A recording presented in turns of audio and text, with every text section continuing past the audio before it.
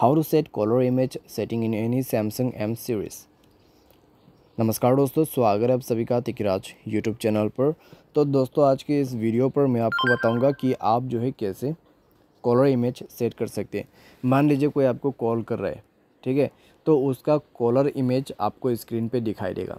तो कैसे सेट करना है, आइए देखते हैं। वीडियो शुरू करने से पहले जाके चैनल को सब्सक्राइब करते हुए बेल आइकन को क्लिक करें और अगर आप ऑनलाइन पैसा कमाना चाहते हैं तो वीडियो डिस्क्रिप्शन पर आपको लिंक मिल जाएगा।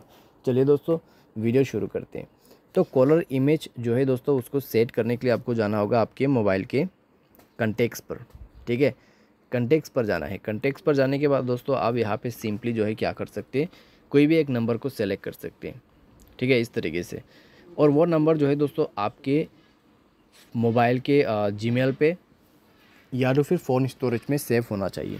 ठीक है। अगर सिम कार्ड कंटेक है तो दोस्तों काम नहीं करेगा, आपको ये तो पता ही होगा।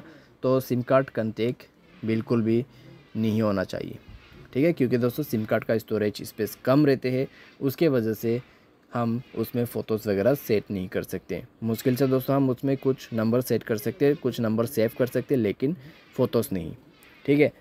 तो यहाँ पे आपको मिलेगा एडिट ऑप्शन तो क्लिक करें।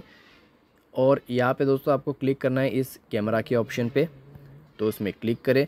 एंड नेक्स्ट पे दोस्तों आपको जाना है गैलरी पर। गैलरी पर जाने के बाद दोस्तों उसका पिक्चर सेलेक्ट करें, जो कि आपको यहाँ पे एक्चुअली में सेट करना है। ठीक है? तो जो भी आपको सेट करना है, उस फ़ोटो को यहाँ पे सेलेक्ट कीजिए इस तरीके से, एंड देन आप यहाँ पे डन पे क्लिक कर दीजिए। डन पे क्लिक करने के बाद आप देख सकते हैं, बहुत अच्छे तरीके से फ़ोटो सेफ़ हो चुका है।